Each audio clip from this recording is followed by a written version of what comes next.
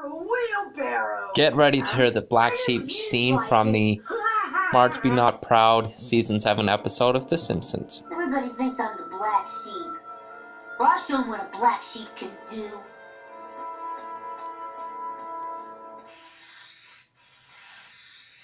Mom, this fake snow is making me dizzy. We're almost finished. There's just a little bit of green left. Can help me spray the cookies. Are you hiding something? What do you have under your jacket?